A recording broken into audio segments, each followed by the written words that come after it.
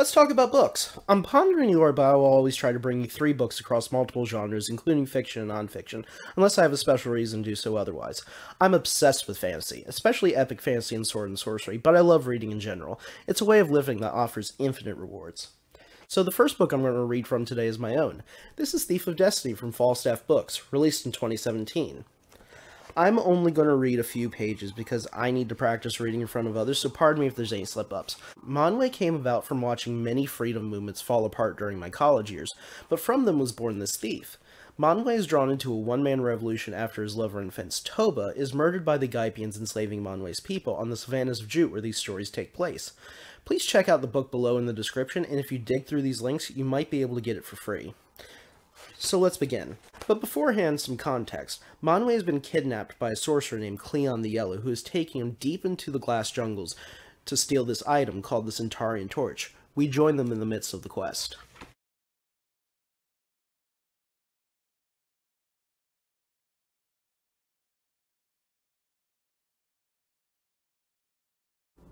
The center tunnel from the rotunda descended into a great stair. The dim light of another set of ancient torches flickered in the deep, allowing Manwe to make out the stone steps.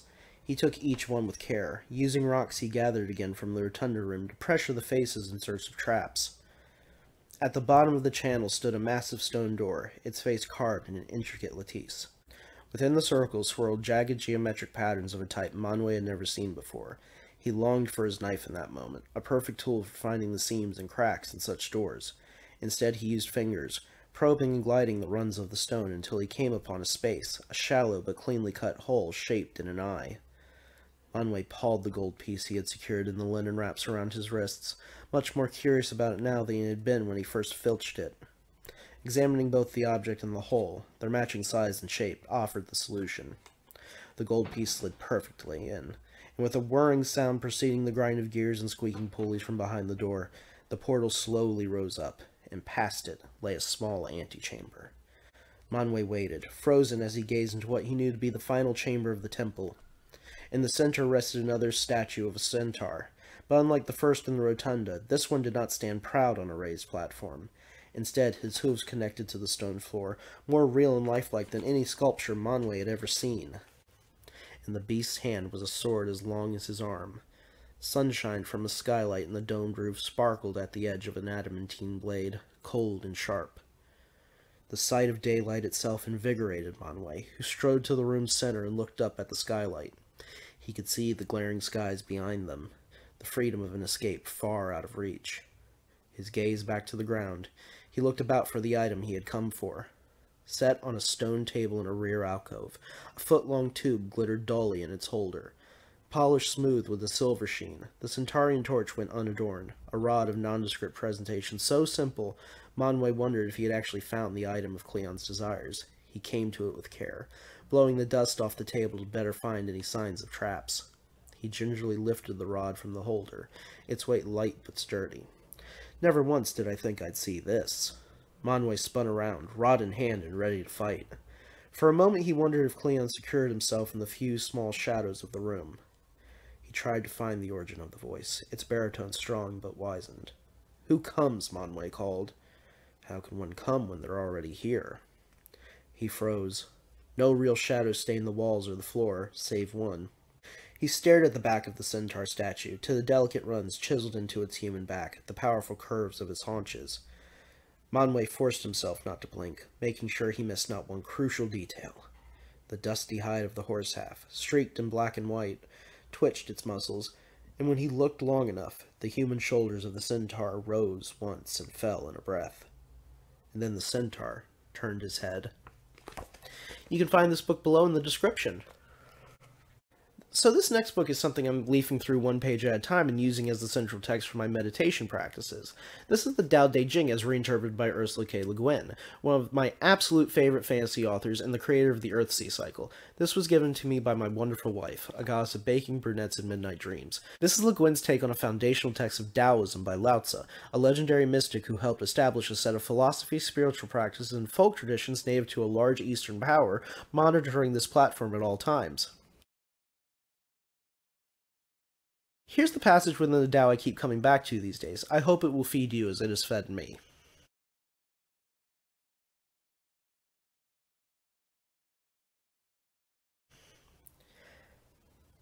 Book 1, Chapter 9 Being Quiet Brim fill the bowl, it'll spill over. Keep sharpening the blade, you'll soon blunt it. Nobody can protect a house full of gold and jade. Wealth, status, pride are their own ruin. To do good, work well, and lie low is the way of the blessing. Please check out this book below in the description. Finally, and you can tell I love this book because my toddler spent plenty of time trying to take it away from me so I pay more attention to him. This is The Sword of Destiny by Andrzej Sapkowski, the famed Polish author of the Witcher series starring Geralt of Rivia, Yennefer of Vengerberg, Cirilla of Cintra, and Dandelion, though they call him Jaskier, in the amazing Netflix series starring Henry Cavill and Company, which I cannot recommend enough. It's really great. These books have been around for a while, but I only recently got into them. I was given The Last Wish for Christmas a few years ago and loved its densely layered sword and sorcery trappings. Now, unlike The Last Wish, The Sword of Destiny is a bit slow in the middle and departs from the characterizations given to us in the first book, which is more in line with the show's presentation and kind of remains its thematic starting point for what Netflix is doing. One of the main characters I adore in the first book and in the Netflix series is basically unlikable here, but beyond that disappointment, it, this book really succeeds in its rich dialogue. You finish every conversation you read because the voices are natural, settle deeply within their characters, and tell a story without having to tell it detail by gross detail. Though I have to say, Sapkowski's descriptions are really something for any writer to look at. Short, to the point, they build really solid images. Many compliments should be given to the translators who rendered these from the original Polish, as Sapkowski took many short stories and kind of rendered them into a more novel-like structure. I also have to say that towards the end of this book, Sapkowski does some very special things with writing out of sequence that they tried to do in the Netflix series but didn't really succeed at. He succeeds with them here. Though not better than The Last Wish, you should definitely check out this book. Let's read a bit.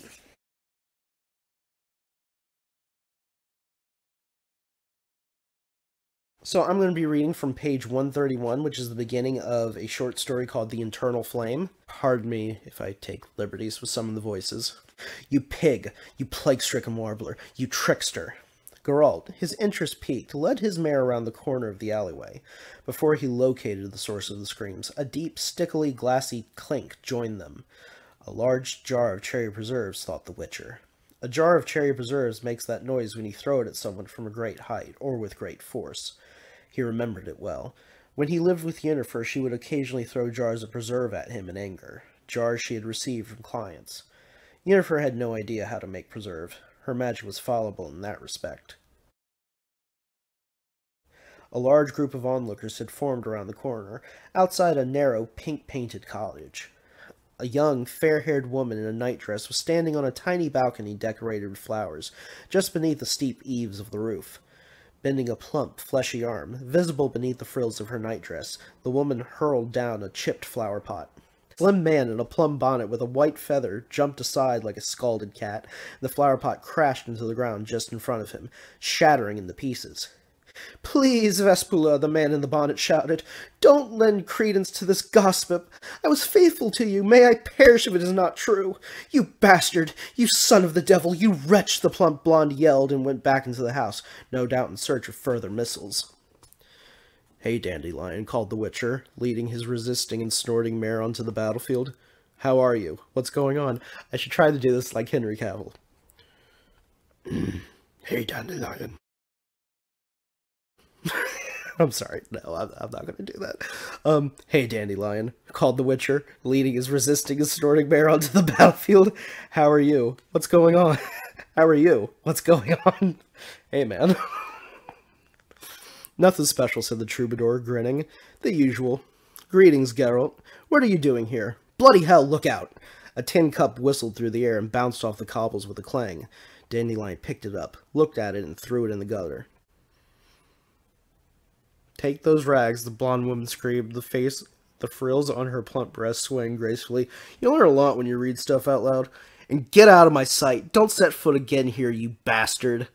Those aren't mine, Dandelion said in astonishment, taking a pair of men's trousers with odd-colored legs from the ground. I've never had trousers like these in my life. Get out. I don't want you anymore. You, you, Do you know what you're like in bed? Pathetic! Pathetic, do you hear? Do you hear, everybody? Another flower pot whistled down, a dried stalk that had grown out of its flapping. Dandelion barely managed to dodge. Following the flower pot, a copper cauldron of at least two and a half gallons came spinning down. The crowd of onlookers standing a safe distance away from the canard reeled in laughter. The more active and unprincipled jokers among them applauded and incited the blonde to further action. She doesn't have a crossbow in the house, does she? The Witcher asked anxiously. Can't be ruled out, said the poet, lifting his head upwards to the balcony. She has a load of junk in there. Did you see those trousers? okay. And with that, you can check out the book below in the description.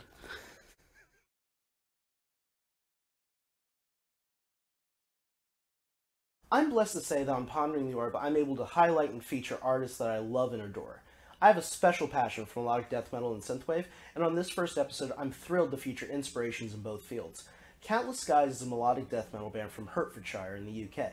This track, Wanderer, is taken from their debut album in 2016 called New Dawn. Art for this wonderful album was created by Carl Ellis. Enjoy and we'll be right back.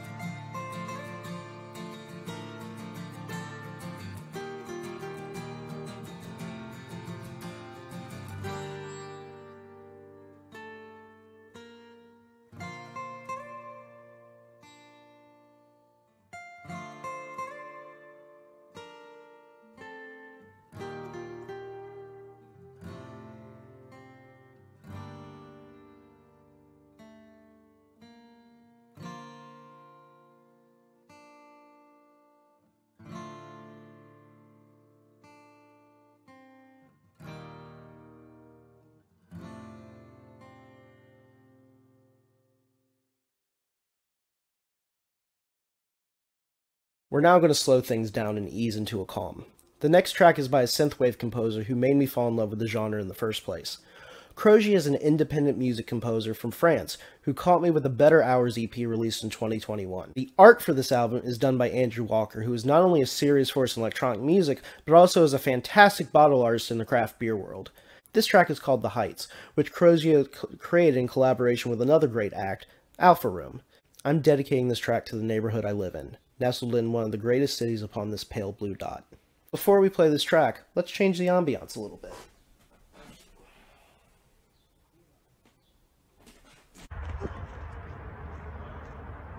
Oh, wow. Okay. See why you Zoomers do that. That's fucking fantastic.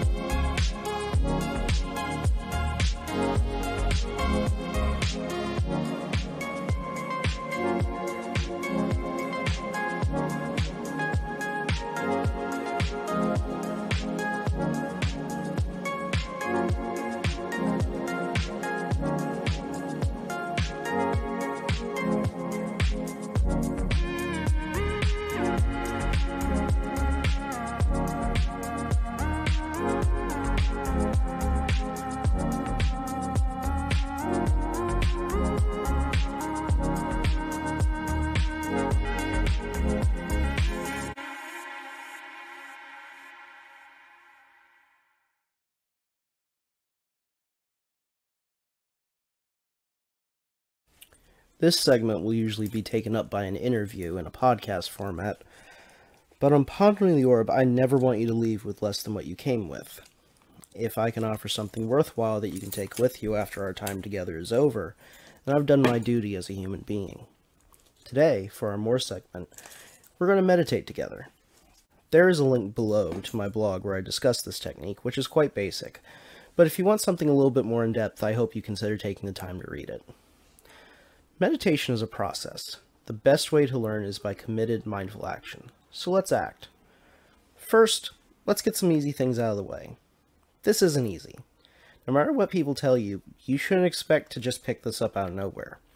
I don't expect you to last the full five minutes that you're going to watch me attempt here. In fact, I think that that would be kind of crazy. However, what we're trying to do is we're trying to train ourselves to focus on our breath with a mental count and find a steadiness in the myriad of noises, smells, and everything else our senses throw at us at all times. By practicing the mindful silencing of ourselves, we are able to learn how to take a step back from our sadness, worries, and fixations and exist as ourselves and our, ourselves alone. Second thing you need to remember is that it's okay if you get distracted. Meditation is learning how to put aside those distractions, but that takes practice. Finally, you set your practice. Want to learn to meditate standing up? There's a method for that, just as there are entire disciplines on how to do this, and finding the right way for you is important. Take your time, do yourself a favor, and listen to more than just me. Meditation is about listening to all the things you can't hear. I can't say everything that needs to be said, and neither can someone else.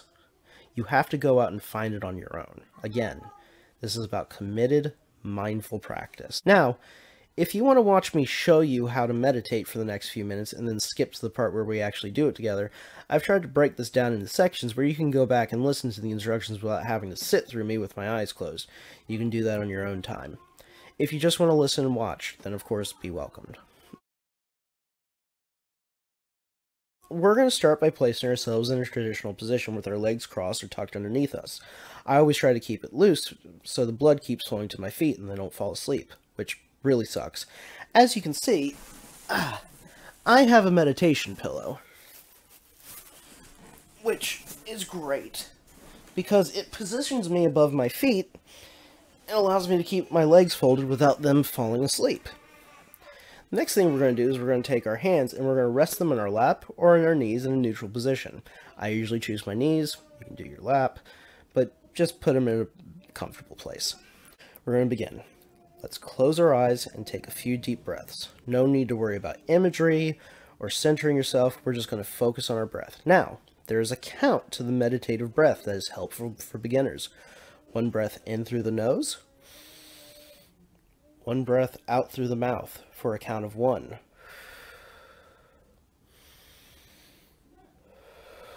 Two. Three. Now we're going to close our eyes and we're going to start again. We're going to count our breaths for five whole minutes. Remember, you don't have to stick with me through this the entire time. Let's close our eyes and let's get started. A few deep breaths.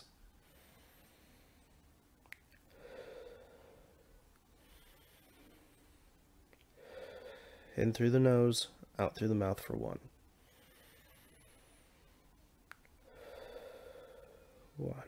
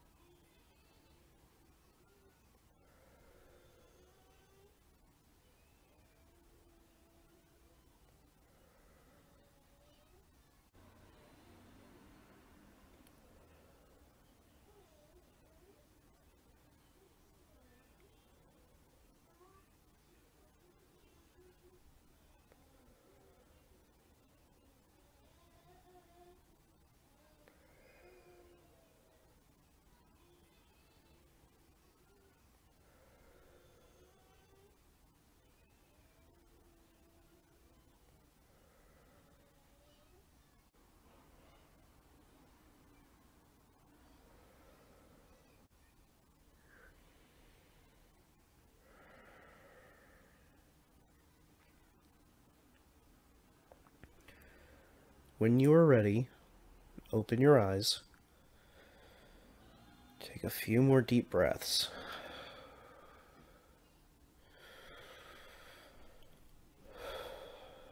And we're finished. Thank you for taking this time to meditate with me.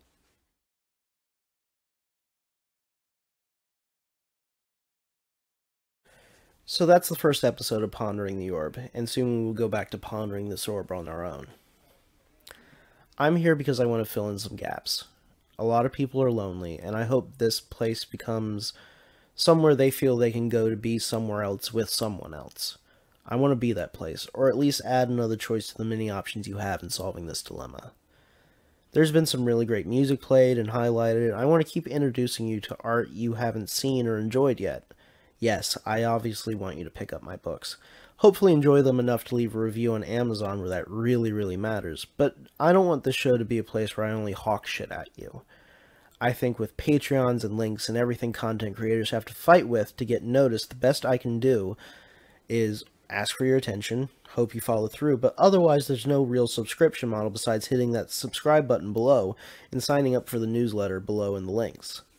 The important thing about this show, and I think literature, music, arts, crafts, and other things presented here, is that they're expressions of the human condition and experience, going back to our ancestors 300,000 years ago.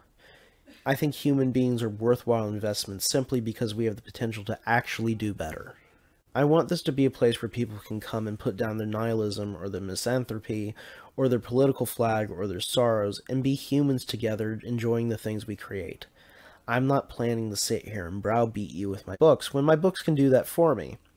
There will be politics, culture, and questions in this content, of course, but when you're here, I just want you to relax, be entertained, and hopefully be at ease with what you have to deal with after this show's over. Maybe we go deeper into that too in the future maybe we try listening for all the things we can't hear. One of the things I want to end on is a theme I hope to revisit grace. As you've probably noticed, I've read a lot of this content to you because writing and reading is the way I find comfort and can express myself the most clearly. I'm going to read this part too, and end today talking about grace because the goddess back in the book section put me on a mission not long ago install more grace in the world. I find she has a sense of things that are missing. Knowing how much she feels the missing parts in me, I listen. Grace is both a pair of nouns and a verb, yet if you take all three of them together, you will see an arising challenge. Let's look at them. The first is a noun. Simple elegance and refined movement. Perhaps how we pass through the world and the impacts we make upon it. Courteous goodwill. Perhaps this is what we want to express to others through those impacts. And then finally, there's a verb. But strangely, grace is also to do honor and credit by one's presence or lack thereof. This is a strange notion, but in the strange things we often find the most beautiful. Perhaps the reason I'm drawn to this isn't simply because I wake up with grace every day beside me, but we live upon the crack of an age where the lack of it is taking its toll on the world. We can keep playing into the damage, we can keep moving to attack each other and defend our selfish wants, which are reactions to things I don't think we're having real conversations about. Or we can learn to start again. We can find good in each other and face the terrifying notion that most of our enemies are not actually enemies at all, just scared people. We can do the work of exercising our millennium's ancient fears that causes us to react in such terrible ways in the first place. We can plumb the darkness for a spark we keep being told is not there, even if it means relighting it ourselves and holding it up for a torch that it is. Perhaps we'll figure out how to act and how to recede, allowing space for the good while we try to mediate the bad. And perhaps we'll start to see that it isn't so simple to qualify what's good or bad either. There's a benefit in this, in a way. When you eliminate the shadows, you usually find the object. It's stunning how much a slant of light can trick us. I hope we all learn to walk out of our caves. We might rediscover an inheritance we lost and get to keep it this time. But only if we make the march to find it. Thank you for joining me. I hope you will check out the books and the links below in the description. Follow the musicians on their channels, enjoy the work, but more than anything, stay well and know that you are worthy. Safe journey.